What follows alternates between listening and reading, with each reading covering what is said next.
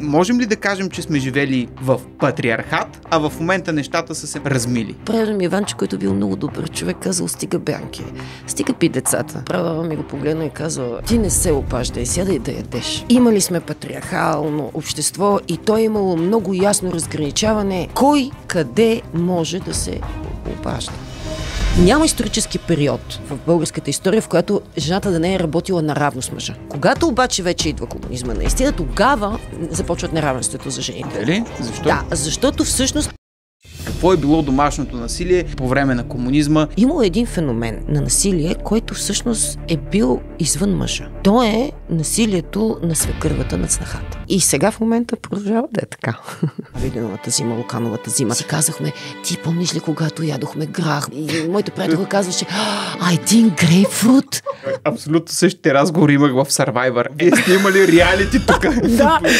Всеки много държи да се назовава българин по един малко по-грамогласен начин. Това е травма. Темата за Македония е травма. Темата за патриотизма е травма. Темата за социализма е травма. Трябва ли според теб да има патриотично образование в училищата? Благодаря за този въпрос. Много е по-дълго. Дойде ли времето за България да има жена президент или министър-председател жена? Озряхме ли като общество да сложим този пол на тази крайно ръководна функция?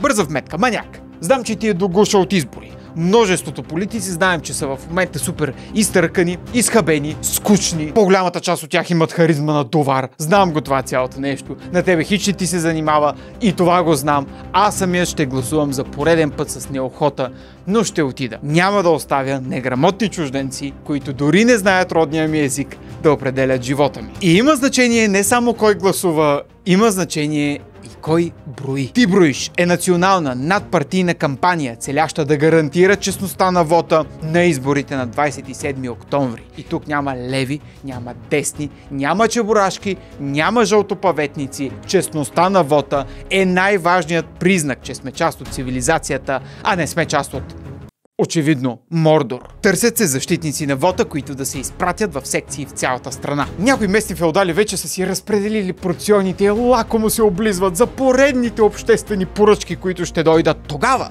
когато се изберат отново техните. Ми няма ли да е мега яко този път да ги пре и тези пари да отидат за нещо смислено, а не за нов баварец на мошенника ми. Мега яко ще е, аз ще го кажа веднага. Ти броиш всъщност, няма да ти коства почти нищо, просто ще трябва да влезеш в секцията най-късно час преди нейното затваряне, да останеш до края на броенето на бюлетините и да гледаш броящите хора в ръцете да не правят тарикатлъци, шашми, схеми и шмекери. На 27 октомври не пазим само вота, пазим бъдещето си.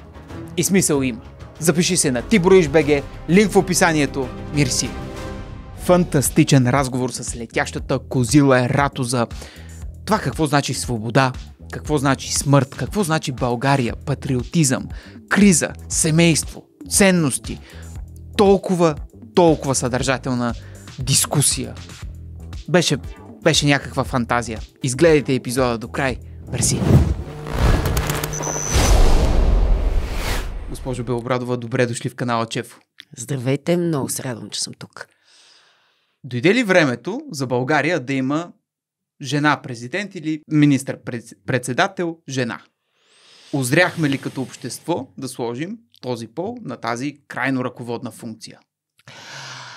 Вече три години и половина в политиката мога да кажа, че това е професията, в която тотално липсва всякаква разлика между мъже и жени.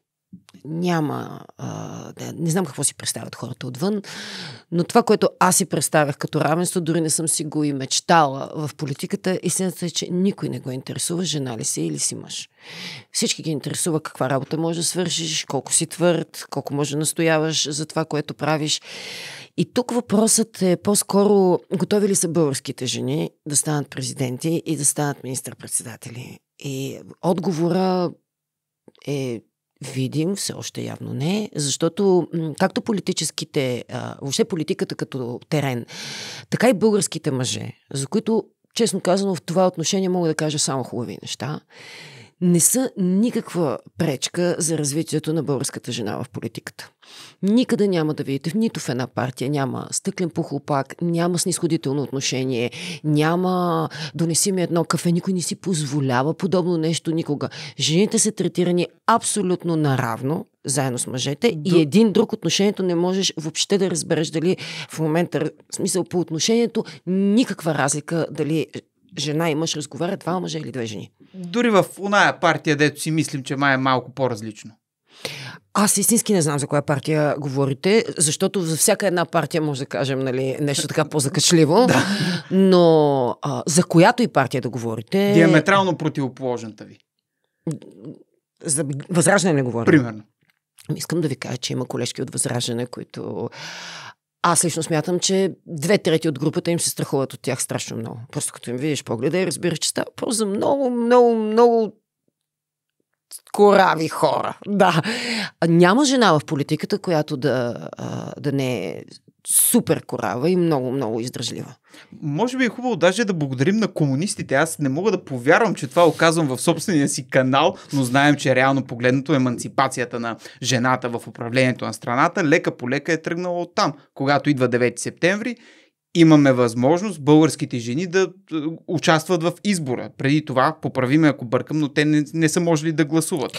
Значи аз искам да направя няколко уточнения. Българското общество не е типичното европейско общество дори типичното балканско общество. Няма исторически период, няма, не съществува исторически период в, българската история, в която жената да не е работила наравно с мъжа. Не съществува такъв период.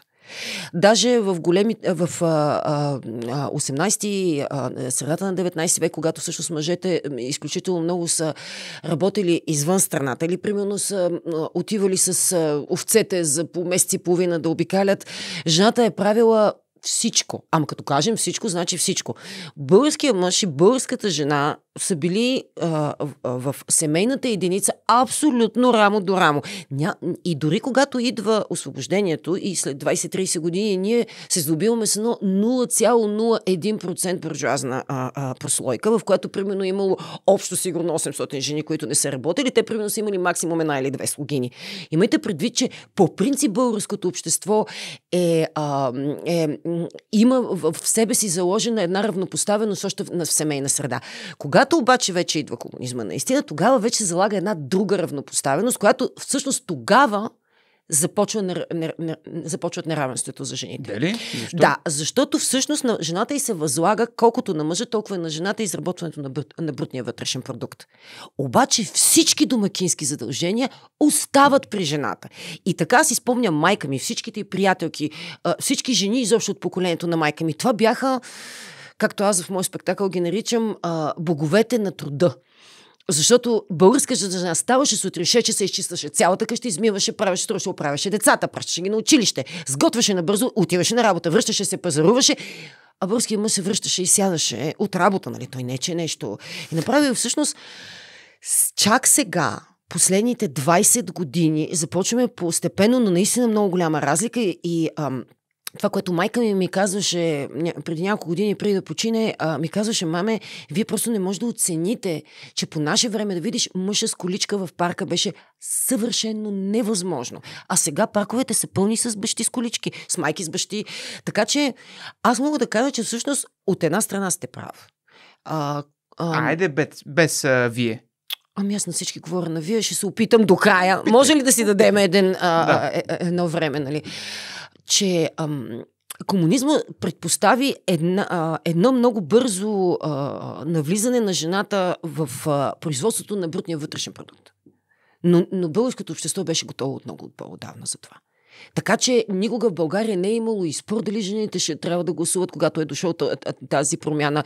Мъжете, българските въобще не са се впечатлили, защото искам да ви кажа, че българската жена според мен е била доста сериозен и корав човек семейството и мисля, че мъжът като е погледнал е казал, ти ако не можеш да гласуваш, то кой?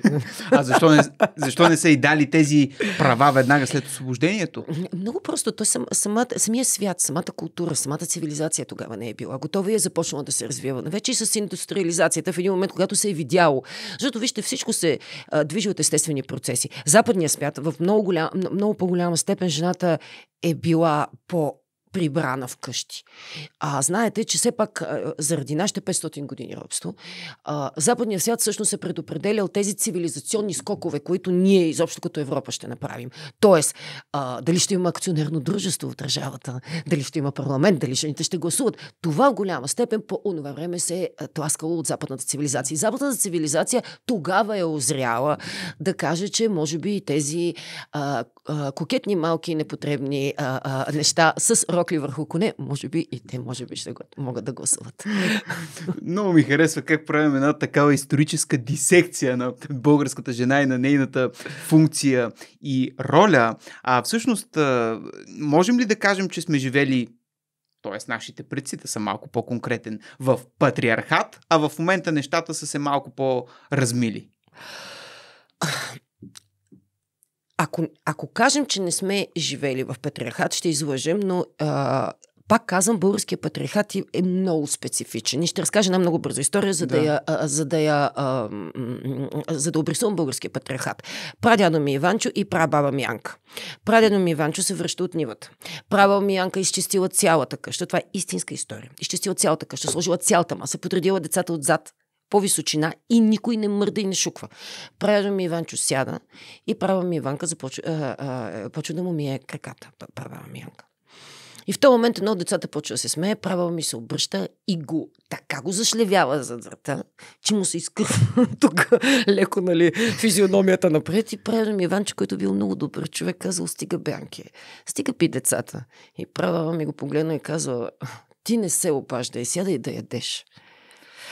Та, как да ви кажа, имали сме патриархално общество и то е имало много ясно разграничаване кой къде може да се обажда.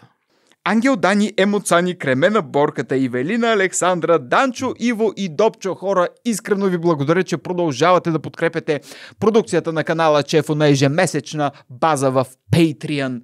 А всички останали зрители, които също искат да подкрепят това, което създавам, може да го направят в Revolut, в PayPal, в YouTube бутона Thanks, т.е. като го цъкнат, както и може да станат и членове на канала в YouTube. За всичко това има линкове в описанието на това видео. Приятно гледане! Добре, чакай да те питам тогава и за друга твоя тема и твой лайт мотив в твоя обществен труд, домашното насилие. Какво е било домашното насилие едно време по време на комунизма? Имаме ли данни дали е имало такова съответно преди 9 септември? И тази тема въобще как, как се котира в а, днешния разговор за, за насилието генерално?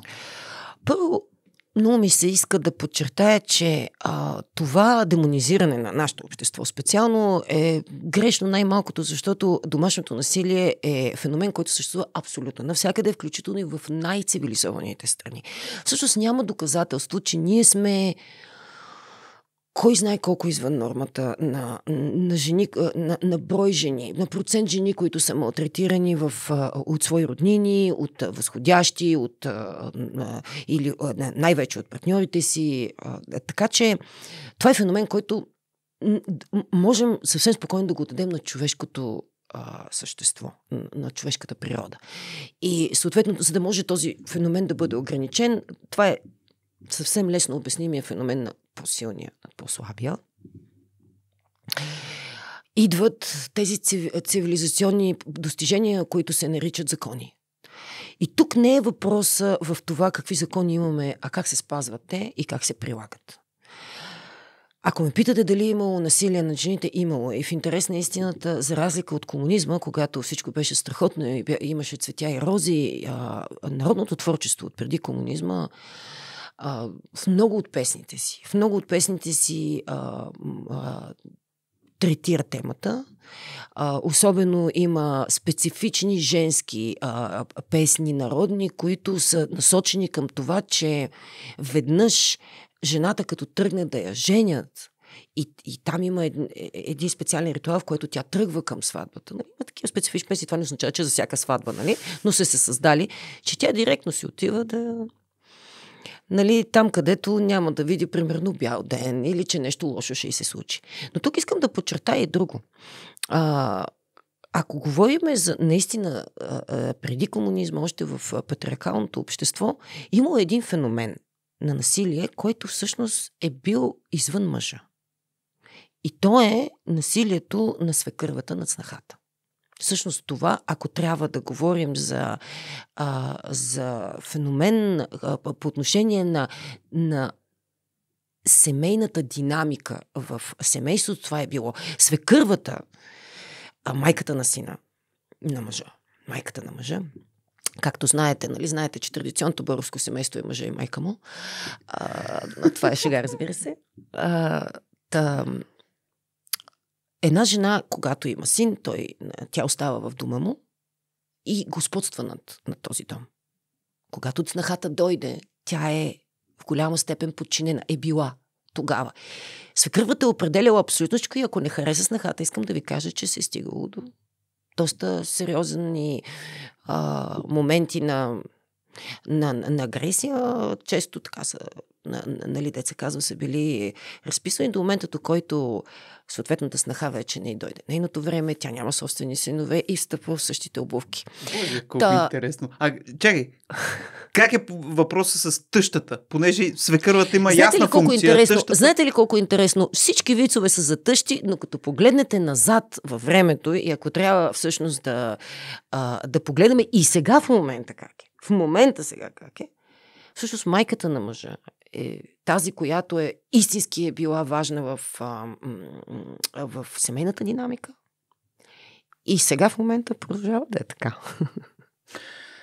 Имаме една чудесна история на един познат, който ми беше разказал, че тъй като цял живот майка му му е купувала гащи, като се е оженил и а, да, майка му просто се обадила на жена му и му казала какви гащи да купува тук нататък и просто така нещата продължили. Ами, то неминуемо, като говорим за свекърви, за тъщи, за тези отношения вътре в тази градивна единица на обществото, семейството, няма как да не достигнем и до това словосъчетание вече като го чуя, искам си излея една вода на главата семейни ценности.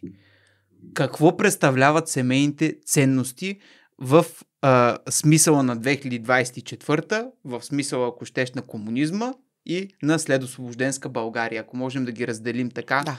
на три парчета, отделни. Ако искате наистина да видите българските традиционни семейни ценности, трябва да отидете в Бесарабия.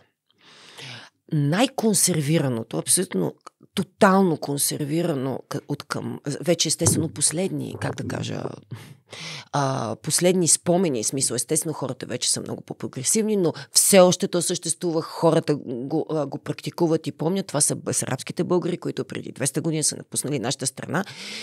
И за да запазят българското, защото това им било абсолютно висша цел, те в голяма степен са консервирали а, и а, а, семейните отношения. В Молдова и в Украина да кажеш, че си се оженил за българка, означава, че си изтеглил златния билет Сериозно? от нотарията. Да. Когато караш по Молдова, има села от руски села, молдовански села, български села и може да познаете българските села, че са най-добре боядисаните къщи, най-побредените дворове. Българското семейство, бесарабските българи. Това е пример за невероятна работливост, изключителна чистота, хигиена, ред, култ към образованието и труда на децата и изключителна сплотеност между мъжа и жената. Аз преди да го бях видяла на живо, мислих, че това са някакви, как да ви кажа, малко романтизирани неща. Искам да кажа, че е изумително впечатляващо и само заради това да идете в Бесарабия, за да го видите и да го чуете, за последно, докато още съществува, за да може да си представите, защото те до такава степен са, за да запазят българското, абсолютно са спрели на, на тези точки, говорим, и са ги преповтаряли с фанатичност, че вие можете да видите българското патриархално семейство последно в това. И ако това е било Искам да ви кажа, че българските семейни ценности са били нещо изключително. Изключително.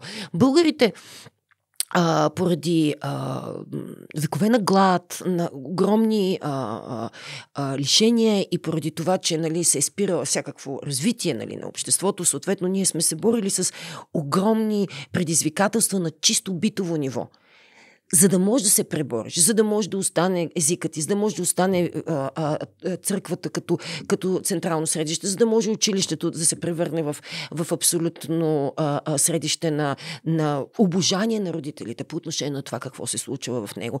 Това изисква изключителна дисциплина, вяра в това, което правиш, изплотеност на, на, на цялото семейство. И това не са измислици, и това не са глупости. Всичко това приключва по времето на комунизма. Взимането на собствеността на семействата, убийствата на хората, гоненията на превръщането на истинския български селянин, който е бил абсолютния гръбнак и в последствие преди това се е превърнал в, в гръбнака на, на, на, на житницата на Украина, всъщност се дължи на, български, на българския селянин. Аз толкова много мога да ви толкова интересни неща мога да ви разкажа а, за имаш това. и книга всъщност да, на тази да. тема. Знаете ли, че когато са ги, а, м- са ги преселвали и са им казали, че ще им дадат колкото земя, колкото земя могат да вземат, докато тичат от сутринта до вечерта мъжа да тича. И, и а то е, е било някакъв ад, ма няма едно дръвче, ма няма една трева, то е било пущинаки каманаци. И той е тръгвал да тича сутринта и е тичал и това е легендата. Тича, тича, тича, тича и вече вижда заника на слънцето, пада и докато пада си хвърля шапката и казва и, и от тук натам е за пипер. И затова смисъл, последните метри и още три метра Велико. си хвърля шапката. И затова имат и такова хоро там, което накрая си хвърля шапките. Нали? Смисъл. И те превръщат тази абсолютна пустиня в изключително, в житницата на Европа. Е, добре, как е възможно всъщност, въпреки че те имат, предполагам, нашия ген на 99.9%, в същото време да са толкова по-различни от днешния българин, който живее в държавата България. Имайте предвид, че там са им, а, са им казали да си приберат всички документи. Те са изгорили всичко, за да не ги познаят, че са българи. И голямата разлика между нас тук и тях е, че те са имали какво да пазят. Като се е затворила вратата, никой не е смел да говори на, на български навънка. Като се е затворила вратата, те са знаели, че имат какво да пазят. И са пазили български язик, пазили си традициите и са ги пазили като нещо, което никой не може да ти го вземе. Той Амосос а, това в книгата си казва за евреите, че всъщност затова човек трябва да трупа таланти и умения, защото това е последното, което ти остава, когато вече нищо не могат да ти вземат. Също е било за българите, за традициите ни, за езика ни и за а, а, моралната ни. Защото морала на българката, това е също. Ми се казва, че морала на българката е абсолютно на, на някакво такова ниво много висше. И пак ви казвам, аз не казвам, че това сега а, е релевантно или не. Просто казвам, че това, което хората говорят на изуст, защото 99% от хората нямат никаква представа какво говорят, когато говорят за семей, български семейни ценности. Нямат никаква представа. И майките им често. И аз обикновено отивам и казвам, майка ти знае ли какво пишеш в интернет? Като а, нямам, смисъл, той дори не може да разбере шегата, защото ако познаваше българските семейни ценности, щеше всъщност да разбере какво му казвам. Това пишеш ли го на някакви тролове? Да. Директно. Не, някой, шах и мат. Някой, в смисъл, аз по принцип гледам да не чета в интернет. Чета само собствените си постове, за правописни грешки. Но понякога е така скровам веднъж на седмици и попадам на някакви хора, които са написали някакви невъзпитани, просташки неща, без изобщо лъжи вътре. Просто. Наистина, единственото, което ми идва отдолу да напише, майка ти знае ли какво пишеш тук? В интернет. Това е много хубаво. Да, резонирам определено с тези твои разсъждения, защото, както знаеш, аз имам някакви малко по-развити профили. Аз съм честа мишена на подобни атаки. Да останем малко на, на, на темата за безрабските българи. Всъщност, те получават ли възможност да упражнят някакво право на глас, например? И колко от тях имат някакво българско гражданство? Ох, това е много тежка тема, защото ние като държава през годините почти не сме направили за това те да да улесним процеса по, а, по здобиване с гражданство, продължава да имаме проблеми. Ние така или иначе не можем да се оправиме а, на, още преди 2-3 години Министерството на правосъдието наследи едни, мисля, че 17 хиляди молби, които не бяха обработени. Си представете за какво става въпрос. После дойде войната в Украина и започнаха други потоци да имат, как да кажем, а, приоритет. А, другото е, че Българите в началото имало няколко вълни, които са дошли тук, били са употребявани от хора на, по курортите и след това не им е било плащано и те са предпочели, много от тях, примерно от Молдова, Молдо, в Румъния им предлагат същите условия, нали разбирате, че те казват, аз за какво да го търпя това нещо, отиват просто и се здобиват с румънска гражданство, което е ужасно. А те директно казват, ние искаме да сме българи. Това, което ми разказа една безарабска българка, която каза, ужасното е, че цял живот аз съм безарабска българка и отраснах в Молдова. И винаги съм знаела, че Родена съм тук, обаче съм от някъде другаде. И никога не може да се почувствам на своя земя. И никога не мога да се почувствам като хората. И най-накрая реших да следвам в България. Като дойдох да следвам в България, всички като ми чуеха акцента и казаха, о, руски, няма махни се от тук, не ми говори на руски, ти какво си дошла тук, заминавай си, знаеме те тебе. Смятаха, че съм лека жена и какво ли не. И, и просто и, тук най-накрая дойдох в България и отново не се почувствах българка. И, и е много тежко. Тя каза, и съм осъдена цял живот всъщност да не знам коя съм и къде принадлежа. Интересно ми е как наистина не се говори по, по тази тема, защото това е част от обществото, малко или много от а, нашия биологичен материал, да го кажа още по-общо. И Вижте, ние сме загубили контакт Ама с тези това, хора. Е, това е абсолютно целенасочена политика на Българската комунистическа партия. Българската комунистическа партия прави следните неща. А, отрязва напълно пътя на българите, които остават в бивша Югославия, а, всеки, който се обяви там за българин, знаете много добре, той има и избити българи, които са казвали, че не са македонци, че са българи. Имаме гробове на тези хора, които и още нали, не смееме, никой, никой не може да отвори а, досиетата, архивите, за да се види всъщност за какво става въпрос. След това спира се да се говори, че съществуват безарабски българи. Няма ги. Просто те не съществуват на картата, те са си там някъде.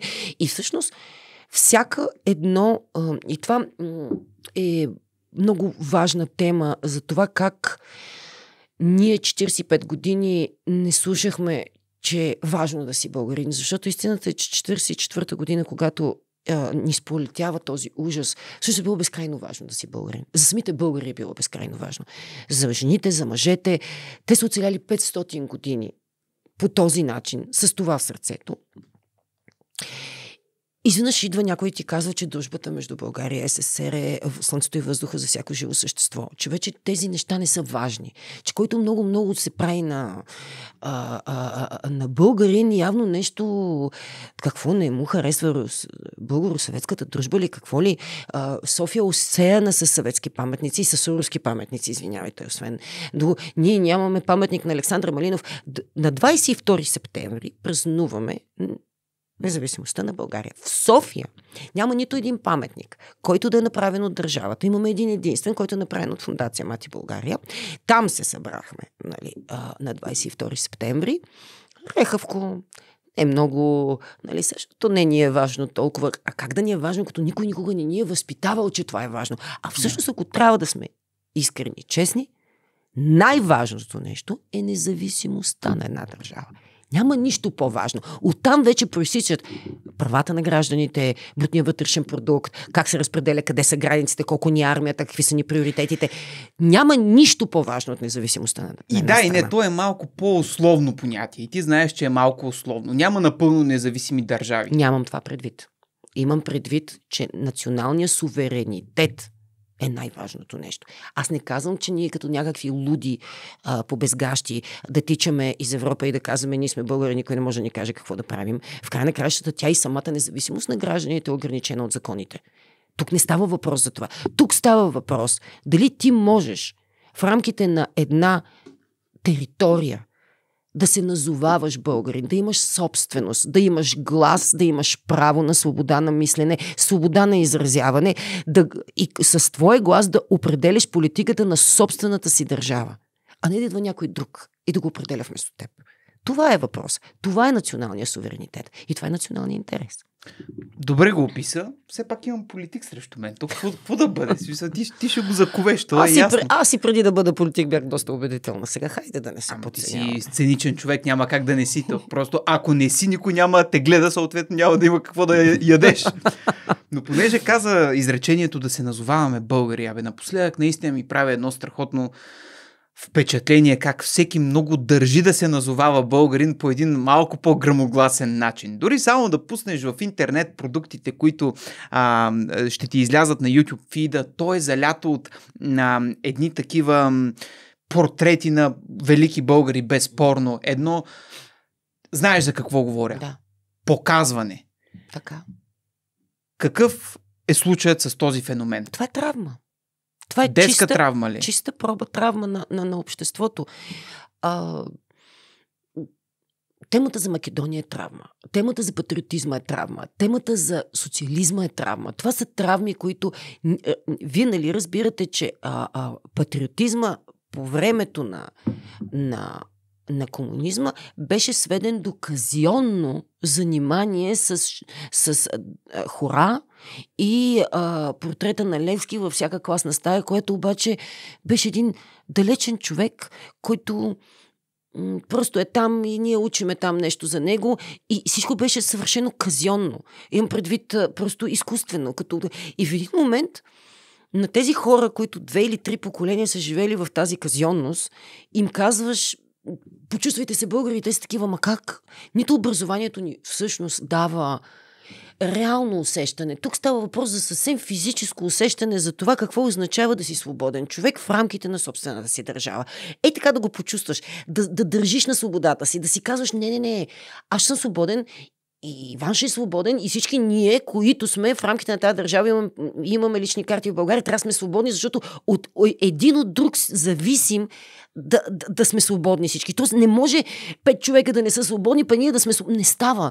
Някакси и, и за да се държим един за друг и да опазим тази страна свободна, за да може да имаме всички тези права и свобода на словото и така нататък, трябва да още от малки деца да създадем механизми по това да, да, да оценяваме и органично да чувстваме любовта към страната, опазването на свободата и така нататък. Вместо това имаме една безкрайна казионност и хората, травмирани, ненаучени, реагират просто в паника. Много бързо прекъсване на разговора ми с летящата козила Ерато, за да ви кажа, че много интересна бройка все още не ме следва в YouTube и тя е 69%. 69% от вас все още не са се абонирали. Това трябва да се поправи. Тази грешка е непростима. Колкото повече от вас се абонират, толкова повече аз ще мога да разчитам на това да повишавам качеството и количеството на това, което създавам и да ме гледат, разбира се, все по-голям хора. Това, което правя, то е за вас. Наградете ме с subscribe, камбанка. Мерси. разбирате ли, то е една малка паника, защото при нас веенето на, на, на байрака, на трибагреника, или е повод за чутовно вълнение, защото никой не ни е научил как, как да живеем всеки ден. Всеки ден спокойно с трибагрени, или е плод на презрение от някакви хора, които казват, вижте ги тези селени с този трибагреник.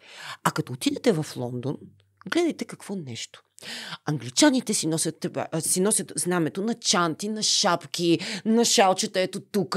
И то е толкова фешен, и то е толкова готино. И, като ги, и само като те погледнат, и ти усещаш едно такова леко пренебрежение, защото те са англичани, а ти не. И никой не го смята това за тъпо. Не, хората си казват, абе, те са англичани, май има нещо много добре. Или французите. Всички казват, французите са шовинисти. Ами са. И като ги погледнете, ами то френският три, трибагерник е навсякъде. Навсякъде. И, и за точно- тях това не е някакъв проблем. Те си живеят с това и са си много щастливи от този факт. Да, и точно защото ние явно не сме се научили да тълкуваме правилно тези национални символи и те се да превръщат ги- в кич. Не, превръщат се в, Добре, някои в хора, невроза. някои хора не ги Е, ма то какво си мислите, че в Америка, примерно, няма използват. кич, Е, няма... то- То е ясно, да, да, да, да. В смисъл, че а, Бейонсе като излезе с каубойска шапка и пола с американското знаме, нали, то малко изглежда кично, всъщност, хей, какво пък? Трябва ли, трябва ли според теб да има в този ред на мисли някакво патриотично образование в, а, в училищата? И го казвам по повод на това, че това би било супер неочаквано да бъде предложено именно от хората, които се водят по-либерални, по-космополитни и прочие. Ами, това е много по-дълъг въпрос. Аз съм благодаря, благодаря за този въпрос, много е по-дълъг. Тук е много важно първо да дефинираме какво е патриотизма. Защото когато дефинираме какво е патриотизма, ние по този начин вече разбираме кои са, кой е набора от неща, на които трябва да научим децата. И ако аз кажа, че патриотизма е чувството за свобода и чувството за отговорност към държавата си, Тоест, ти от самото начало да се научиш да я пазиш тая страна, да пазиш свободата на тая страна, да пазиш, а, а, да разбираш, че институциите работят и трябва като граждани да участваш в тях, да се научаваш да се съпротивляваш, когато е необходимо, да се научаваш да, а, а, да, да правиш така, че ти да си гражданин, с който държавата ти да се гордее, защото има защо. Тогава бих могла да отговоря да. Но ако отговоря да, трябва да има патриотично образование, то веднага ще бъде сведено до... Ето ви тук една много грозна книга, в която има едни ужасни а, картинки, в които се учат някакви ужасни неща, които децата не разбират, просто повтарят като папагали. И, а, и в един момент нищо от тази жива патриотична култура, която трябва да влезе в кръвта ти за да станеш а, това, което всъщност би трябвало да бъдеш като един истински а, като един истински човек, към, принадлежащ на определена нация. Аз не искам въобще да казвам, че ние сме повече или по-малко. Не, в смисъл, говориме като принадлежиш към тази група хора, които заедно като се държите, трябва да държите една територия свободна и демократична. Това е. И, и някак си така трябва да обясним на децата, но как да ви кажа, то няма кой да го обясни това нещо чак по този начин. Но... Много е трудно. А и много хора нямат интерес всъщност децата да разбират, че трябва да, че трябва да настояват до край за свободата си. До край за нея. Това е много важно. Ами, тези хора са горе-долу и твои колеги. В огромна част от процента. Да, така. Е. А, добре, има едно друго понятие също. Национализъм. Кое е национализъм, кое е патриотизъм и защо понякога тези двете понятия се използват успоредно? Сега, по принцип, това, което съм чела в теорията е, че патриотизма е любовта към родината, а национализмът е идеята, че твоята нация стои над другите. Аз като човек патриот мога да кажа следното, че за мен делата за страната са всъщност важното. Познавам националисти, които са свършили страхотни неща за, за, за страната си. И ти може да не ги харесваш, какво ти ще ти кажат на маса. Обаче, сред тях има пожарникари, доброволци, сред тях има планински спасители, сред тях има хора, които спасяват бездомни животни, грижат се за тях, сред тях има хора, които а, отстояват а, и до сега антикомунистическата борба за сваляне на паметника на съветската армия или а, помагат на бедни хора. За, а, та, за мен лично едно, едно от нещата, които ме дефинира и което е много трудно да... А, но, много ми е трудно да, да, да, го, а, да го опазя в политическия живот, е, че аз много държа да дам свобода на, на, хората да могат да изповядат собствените си разбирания в рамките на закона. Тоест, аз наистина държа хората да, да, да вярват и да, и да обичат и да изразяват това, което обичат в рамките на правилата, в която живеем. Тоест, ако ти кажеш, аз вярвам в това и това и водиш живот, който е в рамките на закона, можеш да ми кажеш всичко. Защото имаш право и имаш свобода, да изразиш себе си. Така че това е моята теза за по-скоро съдя хората по това какво правят наистина. Да, ми някакси елегантно приляхме към твоя моноспектакъл всъщност, защото просто той, той се пише този подкаст сам от тема в тема, просто перфектно е, е, перфектна е синхронизацията до тук за свободата и смъртта. Това е едно от най-яките имена, които съм чувал за аудиовизуално произведение. Кажи малко повече за него.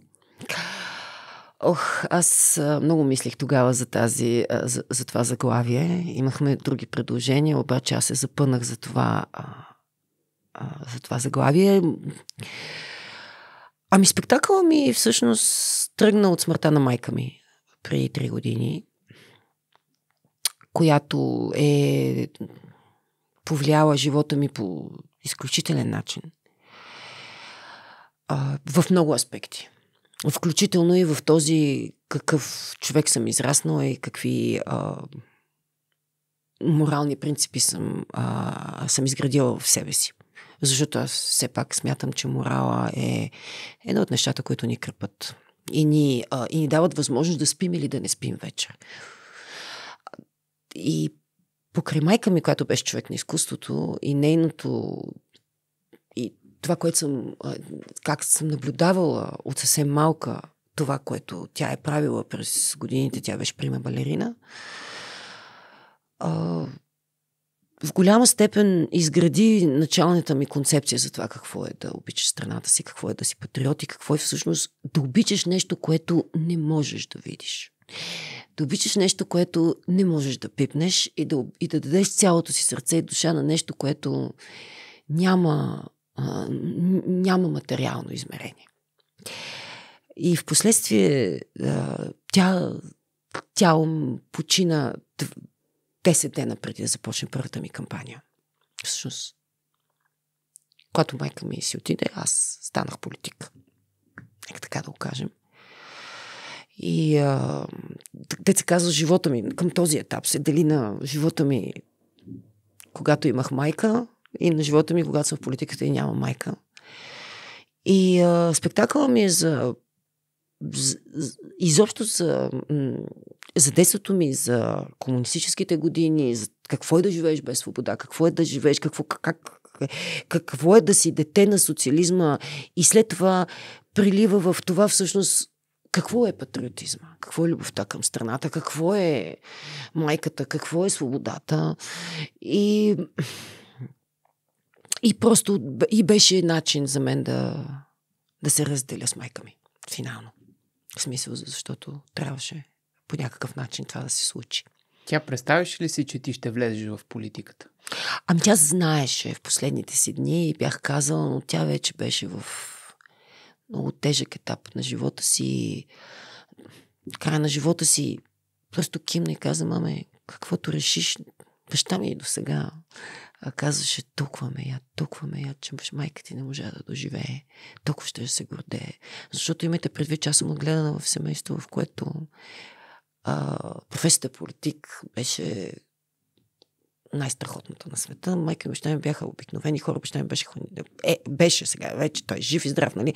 Ходилен техник, майка ми беше балерина, но винаги у нас а, аз израснах с а, незаконните радиа, Дойче Веле, Гласа на Европа, Гласа на Америка, Свободна Европа, а, извинявам се, нали, а, а, с а, Маргарет Тачър, с а, Роналд Рейган и така нататък. И когато станах на 13 и дойде демокрацията, след училище ходех си на тефтерче зад Народното събрание и събирах автографи на народните представители, защото смятах, че това е а ти някакви дърти агенти там. Мога да си ги представя, просто тук нещо ми се повдига. да, за мен това беше... Това са единствените хора, от които съм събирала автографи, само мога да ви кажа. За мен народният представител беше най... И ще ви излъжа, ако ви кажа, че съм си мечтала да стана политик, защото никога не съм смятала, че съм достойна за тази професия. За мен е, аз разбирам, че ние тук гледаме българските политици в някакви аспекти. Но аз съм гледала винаги, от съвсем малка съм била научена да гледам политиката в световния мащаб, а по това време, в което аз израствах, имаше едни лидери, които предопределиха Европа, аз съм родена 77 година и ам, тяхното наследство, битие и така нататък предопредели, предопредели съдбата на Европа в много отношения. А, и за мен е политика беше най-омнипотентният човек във всяко едно отношение. Това е човекът, който разбива от абсолютно всички ресори. В интерес на истината, сега когато работя, да, естествено, че съм доста по-боса в някои ресори, но ти когато влизаш да гласуваш, няма как да не знаеш какво правиш по всички ресори. Абе, има как. Не бе, има, но не би Твои трябвало. колеги има как Не да. би трябвало. Ом, как го каза? Омни? Омнипотентен. Е... Омнипотентен. Падам, човек. Какви думи се използват в канала ми. Всъщност, Извинявам се. да, като каза, нали, лидерите от едно време, къде отиде това лидерство в момента? И защо то отсъства? И защо всичко изглежда толкова изхабено на вашия политически терен? За България ли говорим или по принцип? Абе и по принцип. И по принцип, Като нали? погледнеш То за на това запад, попитах. Да, да, да. да. Ох ми, а, много се разглезихме. Това е, говоря, тук започвам в европейски мащаб да говоря и много се разглезихме. Ние не си даваме сметка, че това може би е бил а, най-богатия, свободен период в изобщо в историята на европейската цивилизация. Аз имам дъщеря на 20 години, дъщеря на 14 и син на 9. М, И дъщеря ми, която е на 20, чак сега започва, гледайки по-назад във времето, филми, обсъждаме си снимки и така нататък. Каза, мамо, ние дори не... Защото като сме си говорили, аз, нали, буча като някакъв а, а, Gen X, нали, супер досадна, а е Gen. И тя каза, мамо, ти разбираш, че аз не мога да го почувствам. Аз не знам какво е да съм била гладна. Защото аз, Жавиденовата зима, Лукановата зима, ние се събирахме приятелки и си говорихме и- аз казвах а, по, и си казахме, ти помниш ли когато ядохме грах? Боже, колко ми се де грах. И моята приятелка казваше, а един грейпфрут? А един грейпфрут, представяш си? И двете си има такива, чиния с грах и един грейпфрут и такива и седиме на, на стълбите на френската гимназия и сме умираме от глад, направо. И, абсолютно същите разговори имах в Survivor. Едно към едно. Вие сте имали реалити тук. Да. Виденовата зима, Да. скандал. Смисъл, Едно към едно са как- разговорите. Какви? Какви? Тук и, и Маги ми каза, мамо, виж, аз не... Аз се опитвам да те разбера, но не мога да го почувствам отвътре. Н- не мога. Аз съм си записала в дневника от 90 и ще видя коя година, че майка ми размера на пенсията е била 2 хляба и пол- половин килограм сирене. Два хляба и половин килограм сирене. Как бе, за един месец ли? Да. Два хляба и половин килограм си. Не ни питайте как сме оцелели. Нямам идея. Хората си нямат представа как, а, как, как сме гладували, а, а, а какъв късмет, че майка ми тогава се зароби и отиде да работи в чужбина в едно мазе. Няма, нали, Майко. няма да влизам в за да може да оцеле семейството. По това време обаче Европа цъфтеше. И слава Богу, че цъфтеше, защото ние успяхме от абсолютната криза, когато дойде Иван Костов, просто да издърпа като барон Мюнхаузен, просто да хване България, да издърпа и с един шут да я вкараме в Европейския съюз, за да може, нали, всъщност ние да започнем да дърпаме, да дърпаме просто един отворен прозорец и ние успяхме да прелетим през него направо невероятно. А, ама народа не беше питан дали иска в Европейския съюз да реагира малко като един интернет трол. Нали, знаете, че ако тогава народа го бяхме питали, ще да гласува с 97% за. А, Европа обаче позабрави откъде е тръгнала, какви а, злокобни а, периоди е преживяла и колко е тежко. И някак си Европейския съюз изведнъж началото на 2000-та година, края на 90-те, началото на там първите години на 2000-та година, някак си реши, че свободния пазар ще ни, а, ще ни реши всички проблеми в веки веков.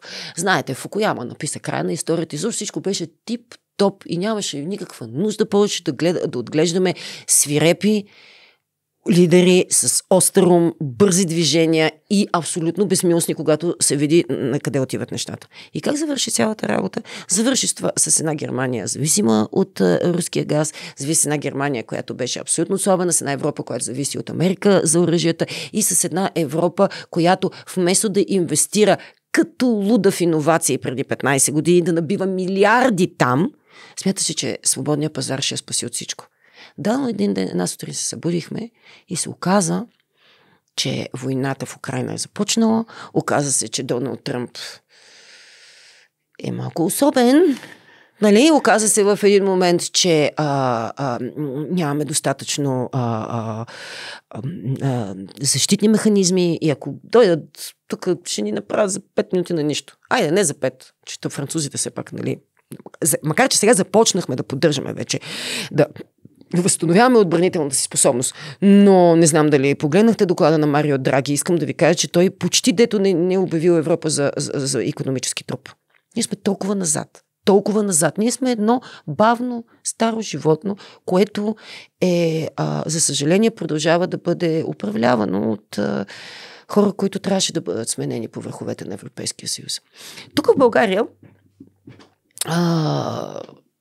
тази, а, всъщност тази част от а, залиняването на Европейския съюз а, се отрази много хубаво с едни прекрасни 12 години управление на ГЕРБ, които обаче трябва да признаем – бяха с одобрението на госпожа Меркел и с одобрението на Путин. В смисъл, и ние тогава се питахме, аз поне се питах, още не бях политиката, но винаги съм така била доста а, ориентирана да коментирам политиката, винаги съм се чудила как така човек е добре с Путин и с Меркел.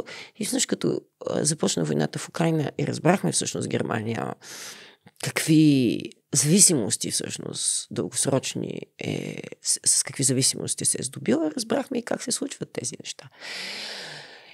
И в момента стоиме пред една устаряла, ослабена Европа, която има проблеми с много неща. С човешки капитал, с застаряваща нация, с, а, с отбранителна способност, с, не, с а, невероятна бюрокрация, която обаче е обословена от това, че всяка държава има свое собствено мнение по всеки един въпрос.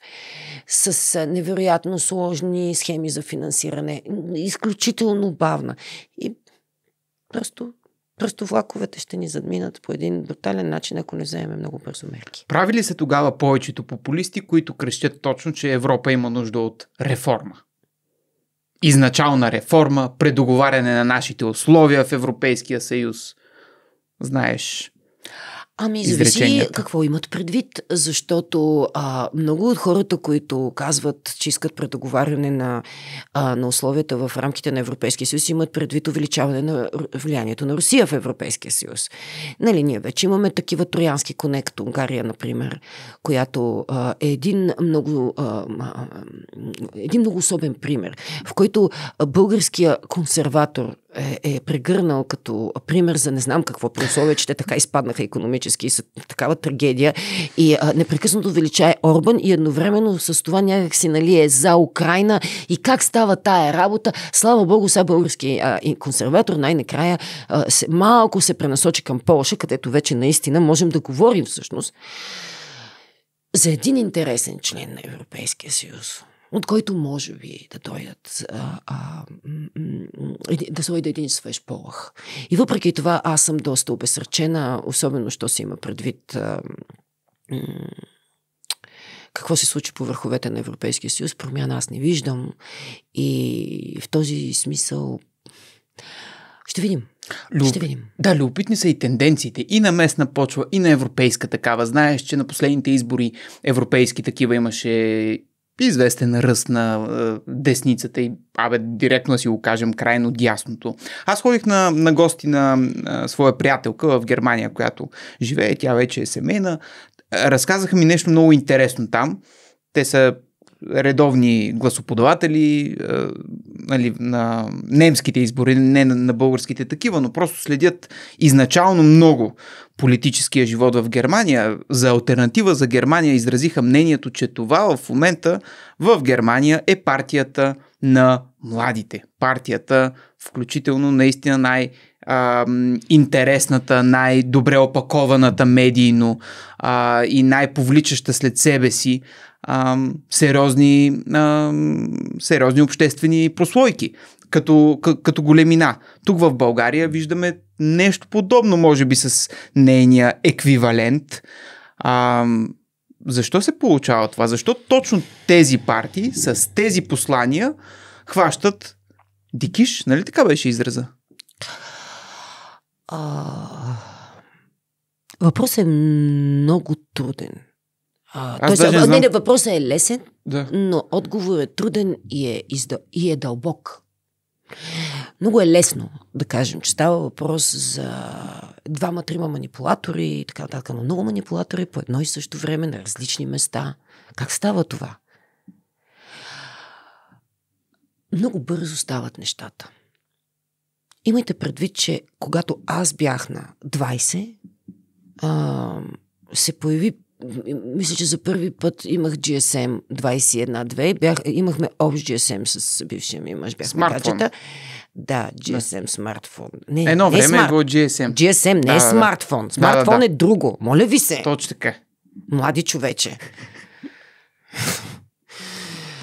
Та GSM имахме. Той имаше копчета, малко екранче, само в зелено светеше. И беше Nokia. Не, беше Alcatel. Ние не бяхме богати. така. Имахме общи GSM. А, сега съм на 47. Минали са само 27 години. Само 27 години. И вече тази година говорим, че имаме отлив от софтуерната индустрия и програмирането към изкуствения интелект. И чета статии в Wall Street Journal на смартфона си, нали, в който пише, че някакви клети програмисти в Америка си търсят вече втора седмица работа, а пък AI-а, виждате ли, Google върнал един, върнал един а, свой бивш служител срещу 2 милиарда и половина за да разработи следващата AI стъпка. в- 27 години. Тук говориме за време, в което а, просто всичко стана много бързо. И хората са изплашени. Трябва да ги разберете, като човешки същества са изплашени. Защото вече всичко, е, е, всичко те живеят два живота. В виртуалната действителност и в истинската реалност. И в тези два живота, в които те живеят, те са абсолютно чувстват вътре собственото си същество като разграден двор. И единственото, което може и ги чувстват като общност, в което могат да се затворят, в което могат да затворят вратата, защото и в дома си вече не могат да затворят вратата, защото екраните са навсякъде. Единственото, където могат да се допрат до стена, това е принадлежността към определена нация. Все пак да не забравяме, че Европейския съюз, за разликата от Съединените Американски щати, беше създаден на основата на економически интереси, на основата на но винаги е твърдял, че запазва културните различия. Даже дет се казва, шампанско може да пиеме само в шампан, иначе, нали, знаете, другото е sparkling anxiety. А, а, а, когато... Това е хубаво. да. А, та, Тоест, е, нека да ти Въпросът е, помогна. да, да, точно така. Въпросът е, че хората са изплашени, всичко става много бързо. И те са, изведнъж си казват, окей, Германия е... Аз съм германец, а, Германия е държавата, аз принадлежа на Германия и това е единственото в света, в който дори вече човешкото същество, като го погледнеш, не можеш точно да го идентифицираш дали е мъж, жена или нещо, защото той може да се по друг начин, всеки си има право да се там, нали. Единството, което казваш, кое е сигурно на този свят? Аз съм германец. Хващаме се за това. Това е признак на, наистина на едно дълбоки оплашени нации, които и, и това вече се, за това започва да се използва. И да направим, точно така да направим уточнението, че тези партии стъпват точно на този изначален страх на човека от промяна. Той е всъщност природен такъв, той е чисто биологичен на, на първично ниво, страха от новото, от промяната. И те очевидно Не, го то използват. не е, вижте, вижте, напротив. По времето на индустриализацията, по началото на 20 век, хората са били в абсолютен възторг какво се е случило. Пълчища, хиляди са участвали в, с, с сърце и душа в изграждането на новия свят. Никой не се е страхувал в този е, смисъл. Напротив, сега обаче е друго. Защо? Защото все по-малко ръцете ти, краката ти, очите ти, тялото ти имате значение за функционирането на всичко около вас. Говоря ви и става много бързо. Може би ако става за 150 години, това това навлизане на, на, на всичко вътре във вас и, и това ваше а, а, а, разпростиране в света, в който а, рекламите вече ви следват, защото знаят какви сайтове следвате, това, че всъщност съществуват виртуални хора, които ви говорят на вас, в очите, които е, те са хиляди лица, тази непрекъсната обмяна на информация, непрекъсната информация, която влиза към нас.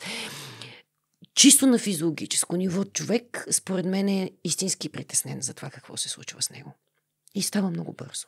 Затова аз по-скоро изпитвам огромно разбиране и състрадание към хората, които, които, които се опират в това, защото самата аз го чувствам. А имат ли тези събития тогава и някаква връзка с ам, ръждаемостта на континента и тук в България? Връзка с ръждаемостта има отново индустриализацията, началото на а, края на, на 19 началото на 20 век, когато всъщност а, започва хран... в България, ще дам само един пример, извинявайте, а, има някакви легенди за а, жени с по 20 деца, по 10 деца, по 15 деца. Но когато говорим за деца, говорим, трябва да говорим само за преживели деца. Така се нарича. Това са деца, които са минали 2 годишна възраст, 3 годишна възраст. И ако мерим и направим социология на традиционното българско семейство преди освобождението, то е било, тъй като смъртността се е движила между 60-75%, да, на децата до 2 годишна възраст. Да, жената е имала 8 деца, от които средно две са оживявали. Така че реално българското семейство е било съставлявано, средното българско семейство се е съставлявало от мъж и жена и две до три преживели деца. Много е важно да кажем всъщност преживели, за да спреме добре. След това настъпва един много тесен период, в който а, изведнъж храната започва да стига и започва да става добре. Края на 19 век, началото на 20, в което рязко изведнъж децата, много повече деца започват да преживяват. И тогава семейства започват да здобиват с 6-7 деца, които те нямат къде да дадат за работа. И, и те започват да стават огромно бреме за семейството и тогава в рамките на 10-15 години българското семейство се саморегулира. Това за това също не говорим. И спада отново до 2 до 3 деца на семейство. Боже. Защото природата работи по-добре от всеки един. Това, което обаче истински променя световната игра, не българската, световната игра – защото в момента, това също, нека да го кажем, няма нито една държава, нито една държава, която да не е в нисходя, нисходящ тренд. Тук не говориме за покачване на нараждаемостта към този момент. Тук говориме от 1900 година до сега. Всички държави, Иран, Китай, Пакистан, който кажете, всички са в рязко нисходяща а, а, погледнете. Пораждаемост. Да. Е, как? Е, до 2010 година, до 2100 година, извинявайте, ще занулим нещата и оттам нататък населението ще започне драматично да намалява.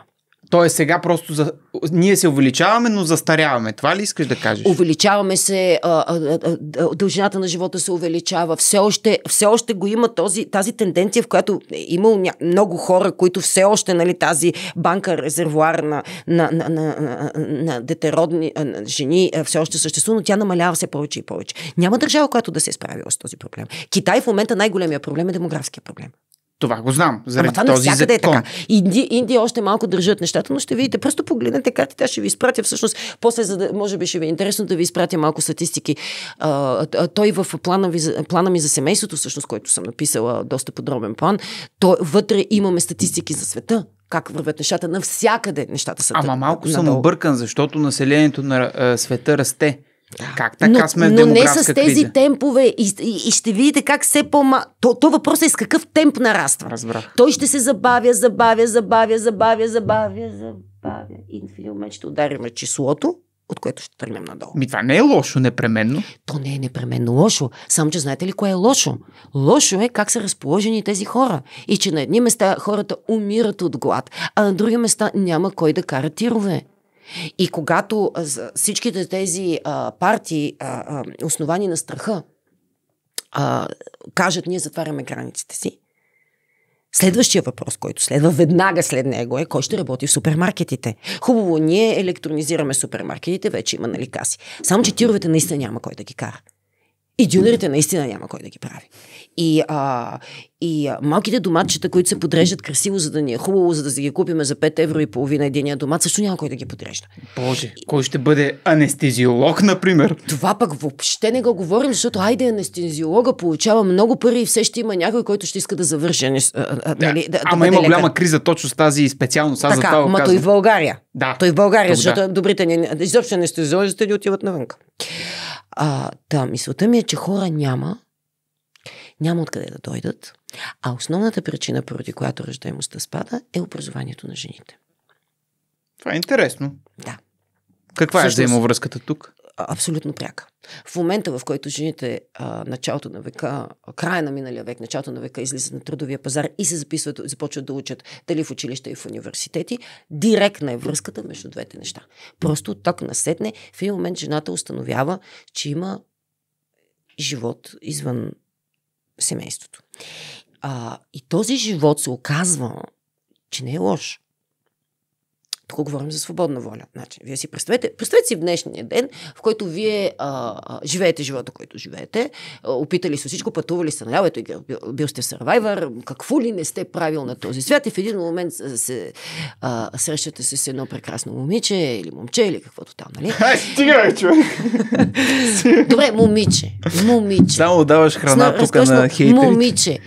А, залюбвате се, а, а, а, вие забременявате а, и вашето момиче отива на работа. Аз ли забременявам Да, точно така. Вашето момиче отива на работа и вие си оставате вкъщи. И след това си оставате вкъщи с бебето, след това забременявате пак, след това пак си оставате вкъщи с бебето, след това забременявате пак. Обаче той е живот, дето сте го живял. В един момент си казвате, ама аз може би не искам да живея само вкъщи. Може би искам да правя и друго. Аз бях добър професионалист. Аз имах, аз имах хей шоу, в което разни политички тук идваха да се бият, за да участват при мене. А, мене ме харесваха хората в интернет, мен ме искаха ми автографии, играех в спектакли, ходех по телевизията. Защо 4 години не съм излизал от, от, без чехли и само до супермаркета? Ма Аз как ще живея така? И това е огромна криза на личността, която настъпва в този момент. Милиони жени по света изведнъж разбират, че да си пълноценно човешко същество, с професия, с образование, с интереси, с научни достижения, с литературна кариера или с нещо друго. И изобщо, всъщност е, че те го могат. Да, някой ще каже, е, те мъжете са много по-добри. Ма аз не споря дали мъжете са по-добри или не. Аз казвам само, че дали си средно добър автор или много добър автор, и двата, двамата автори горят еднакво в това, което правят. Примерно. Нали? Разбирате ме. И в този момент, ако ти си актриса, майка ми, знаете ли какво е да си балерина? Това означава, че ти не можеш да имаш три деца, защото балерините на 35 години приключват с кариерата си. Тоест ти имаш да танцуваш, ти имаш да работиш. Това, което обичаш цял живот, с цялото си сърце, имаш да го работиш максимум 20 години. И въпреки това тя е решила да ме има. Нали? В тези. Та, в, в този момент жената казва, окей, ще се опитам да имам деца и да работя, за да мога да бъда пълноценен човек. Обаче ще изчакам малко. Нека да завърша университет, да почна работа, чакайте да се утвърдя на работата, защото, нали, след това, ма чакай тук, ще, ако разберат, че съм бремерна, ще му уволнят, защото имало много периоди, в които, нали, законодателство хич не е толкова защитавало жените, нали. Той сега има много спорове по въпроса, дали това трябва да бъде така. И лека по лека, поради съвсем човешката функция на, на жената да ражда и да отглежда, нали, да ражда деца, да ги износва, нали, тя е тя се превръща в една машина за борба да отстоява а, а, позицията си и то в, в края на краищата се отразява в голяма степен на броя на децата. Директно. Директно се отразява на броя на децата. И това е един, а, а, и това е един ам, факт, който е научно доказан. Само, че економиката не може да си позволи, защото не знам дали знаете, че а, а, съотношението на брутния вътрешен продукт в България, а, изработен от жени и от мъже, е 52 към 48 в полза на жените. Само казвам. Стига, човек. Това пък как е изчислено? Еми, питаш. Добре, ти като каза та, тези... този, да. да. Тоест ти какво сега, нали? Защото идва някакъв...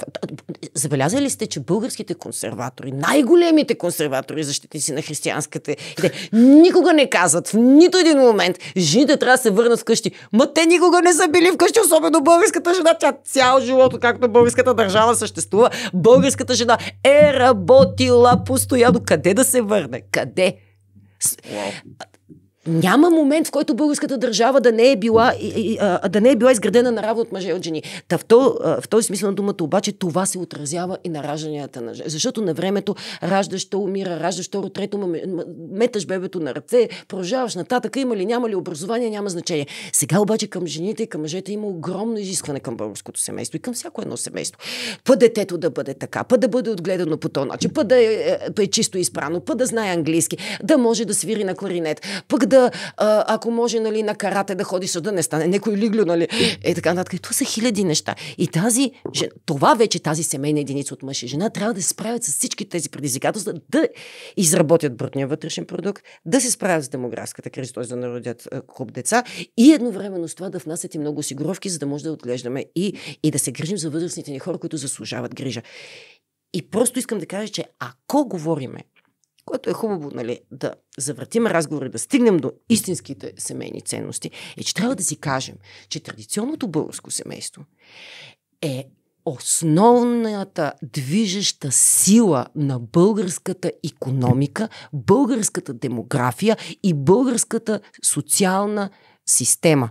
Тоест, това е са хората, хората на средната класа, хората с малки деца, хората с възрастни родители и хората, които работят, са хората, заради които държавата съществува. И ако ме попитат коя е българската ценност, това е българската ценност, че това точно семейство осигурява бъде, бъдеще за, за, за страната, осигурява възрастните си родители и осигурява економиката.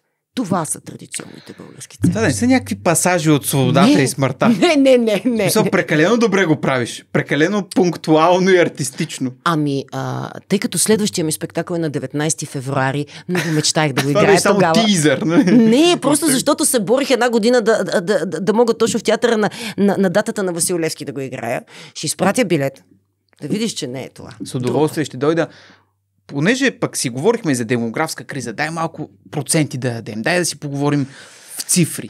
Какво е положението у нас? От 90, 1990 година до сега държавата са напуснали милиони и половина. Сложете към тях, към тях децата им, които са се родили съответната екстраполация на всичко това, ние общо взето можем да кажем, че каквото сме загубили, по-скоро се, в гу- 90% се дължи на, на хората, които са напуснали страната. Не на раждаемостта. И трябва да спрем да говорим за тази българска майка, която не ражда достатъчно деца. И да започнем да си говорим за тази държава, която се е напуснали милион и половина и не са се върнали. Защото това е истината. Пак има статистики, всеки може да ги види. И всъщност проблемът тук е, че когато говорим за демографска криза, аз си направих труда да направя едно изследване между 700 и 70 българи, им пуснах, които живеят в чужбина, които да им пуснах една много дълга анкета. Много благодаря на всички, които участваха в нея, за да ми опишат подробно защо са напуснали България, какво хубаво намират навънка, защо биха се върнали обратно. Това е едно от най-интересните чецева, които човек може да си представи. Тоест, когато говорим за борба с демографската криза, ние трябва да, да, да си дадем сметка, че то не става въпрос за биене на тъпани. То става въпрос за доходи, то става въпрос Второто, което посочват хората. Корупция и съдебна система. Хората искат да живеят в ред, искат да знаят, че като се обаят в районното и полицаите ще дойдат и всичко ще бъде като хората и ще може а, престъпниците да влязат в затвора или да бъдат осъдени. Ще може, като си отвориш фирма, тук никой да не те рекетира. Ще може чуждестранните инвеститори да дойдат тук и да отворят работни места, без някой да дойде на бюрото и да им каже, дай ми 500 хиляди долара и ще получиш разрешение за строежа на завода. Тук става въпрос за некорумпирана държава, независима съдебна система, висо, високи доходи, макар че ние по доходи започваме да... Ние, имам, ние сме вторите в, в Европа тази година по, а, по ръст на доходите, само да кажа. А, и след това работещо зд- здравеопазване. Много хората нали, говорят за работещото здравеопазване. Образованието е третата причина. Нереформираното образование в България. Хората искат да, децата им да ходят на училище, в където да научават адекватни нови неща по, по, и, да, и децата им да учат и да, живе, да учат това, което ще работят и ще живеят в живия живот. Mm-hmm. Как да си купиш нещо от магазина, трябва да можеш да знаеш още втори клас. Дайте върна обратно за демографската криза. Не, не бяхме достатъчно изчерпателни. Така. А, това е мит, че българската жена не ражда, така ли? Какъв ни е коефициента там? Коефициента на раждаемост, коефициента на раждаемост ни е над средния за европейския, като тая година се спори дали не стигна 1,71, 1,73, което е направо страхотно. Така че а, пак е пак не води до, дори до нулево. Обаче имайте предвид, че ние сме, айде вече не най-бедната, втората по бедност а, в Европа и въпреки това държиме, държиме а, сравнително а, нормална раждаемост. Обаче той има елементарни неща, които могат да бъдат направени. Жените вече раждат по-късно. Само да ви кажа, че да речем, ще ви кажа нещо съвсем елементарно. Съвсем елементарно. Една жена, ако роди секцио, две години след секцията, не е препоръчително да ражда пак. Има жени, които влизат да, да раждат на, на по-късна възраст, да кажем 37-8, и искат много бързо да родят едно след друго две деца, защото са закъснели. И в момента, в който им направят секцио, което не е по медицински причини, две години тази жена губи и оттам нататък губи голяма степен и желание или шанс за второ дете. А ние сме държавата с най-много секция в Европа. Близо 50%. И сега, ето, ето, не, аз не казвам, че това ще промени демографската картина, но ви казвам едно от хилядите неща, които просто директно влияят. Всяко второ раждане е с секцио, така ли? Да. Кое налага това? Много лесно е за... Много е бързо, и е, и е и планируемо. То е опойка и те режат и го вадят. И, и е планируемо. Ле, може да планираш примерно 5 жени в рамките на, на, на, на, на, на, на, на един ден. И няма родилна болка. Аз съм с три секцио. Има след като мина опойката. Ама аз по други причини не, защото е било да, по-лесно. Да. Но в смисъл няма го това като по филм, дето мъчат не, не, там. не, е- не, не, не, не, не. Значи за жената в никакъв случай не е... А, това да те режат не е окей. Okay. Не, не, със сигурност. Но съм чувал, че... Раждането, раждането на, на детето си е процес, който е естествен за жената. Да, При и някой когато... минава много тежко и се налага, разбира се. Да. Но? Но когато е по естествен път е по-добра, по-добрата опция, нали така? Разбира се. Разбира се. Доказано от Световната здравна организация, доказано по хиляди начини. Добре, колко се раждат в България на година и колко умират? О, не мога да ви кажа числа. Много числа можа, можах да ви кажа тази вечер, но тези числа не мога да ви кажа. Смисъл, наистина ще ви излъжа. Добре, с колко души а, ни пада населението на година? Оф, ми, то зависи. При, по време на COVID, ковидните години изгубихме страшно много хора. Но страшно много хора. Може би, но пак ще ви излъжа. Сега в момента почти сме занулили тази година. Имаме, а, е, защото имаме върнали се хора в България. Смъртността ни, но, но това, което мога да кажа като, а, като такова, че сме примерно втори по смъртност в Европа. Много висока смъртност имаме. Не, първо, тя, тя се дължи на много неща. На това, че българите не обичат да си правят профилактични прегледи. И да На- спортуват, генерално. На, на дъното сме на таблицата по спортуване. Много се пуши. Много се пие. Много. А, много мъже умират много рано. Има една дупка между 48-9 до към 57, в които всъщност е най-рисковата възраст за мъжете. По-рисково, отколкото по-нагоре във Да, възрастта. да. И как е възможно? Ами, един колега, Боян Юруков, всъщност а, напра- е, направи това изследване и откри тази дупка специално при мъжете. Това, този срив директен и че и тогава просто се вижда, че е, това е много рисков момент за, за мъжки организъм, в който наистина мъжете трябва да започнат. И ето тук всъщност е, е, ви призовавам вас, виждам, че сте на 2-3 години от тая възраст, че трябва просто по вече да се грижат а, мъжете. Наистина наближат ли 46-7, хубаво е да ходят на профилактични прегледи. Има си специфични профилактични прегледи за мъже, които, а, които са наистина а, важни и се правят на 5 години, така че да може да, да се поддържа организма и да се види, ако има проблем, бързо да бъде хванат. А сега ми е рано, така ли? Реалната ми възраст в момента е 30. О, Да питам- Доста по-възрастен. Доктор Белобрадова да попитам. Какво ще ми предпише като преглед? Значи аз виждам, че вие сте един млад човек, който даже ходи и на фитнес. От време се, да, от тази бяла фанелка е сложена за тази цел, за да се виждат резултатите от фитнеса. Когато ходех на фитнес и аз ходех с такива бели фанелки, да знам. А, за съжаление, политиката... Е, всъщност политиката, ако ме попитате, кое е най-ужасното нещо, което ми взе, това е спорта, фитнеса. Сходих по пет пъти да вдигам в зала на, на седмица. Бях абсолютно на машина. За съжаление, обаче, политиката те смазва не само като време. Ви- Видяхте всъщност при какви обстоятелства се проведе това наше интервю, което ще трябва след малко да отива към края си. Тя вече си задава правилата. Тя идва, решава кога да стартира, решава кога да си тръгне. Аз тук Искам час да ви и половина кажа, че кимам. до 5 минути трябва да си тръгна, защото заседанието започва след а, 25 минути. Нощни гласувания някъде. Разбрахме, разбрахме, че става въпрос за 1 милиард и 700 хил... милиона, така че ще трябва да тръгвам наистина. Но а, спорта е нещото, което а, българите никак не обичат. Аз обичах на късна възраст и за съжаление голяма мъка, че не мога да го практикувам. Не, това е много гадно. Аз не си Ужасно. представям живот без спорт. Ужасно е. Искам да ви кажа, че психическото натоварване и, и, и, и, и, и ужаса, който преживяваш много често в залата и въобще в политиката и да няма абсолютно никъде излъз, както по принцип в спорта се случва, е много тежко чувство. Нямате ли в парламента някаква фитнес зала? Не бе, аз наистина сериозно питам. Имате стол. Ние да вземем да се задържим за една година, пък деца вика, аз ще дови, до, докарам една пътека, ще си я сложа в коридора и ще ме виждат редовно как ходя на пътеката, докато, нали. Той пък вие- вече на втората година може да докараме някоя штанга да правиме там, а, а, а, нали, Мъртва тяга. Е, мъртва тяга, да. Ми да, вие и 200 дни от годината сте си в почивка, така че може да си ходите навсякъде да си спортувате. Аз много благодаря за Но трябва да поканата, тръгвате. но трябва да тръгвам. Добре, аре поне аз да си завърша подкаста. Удобно ли е?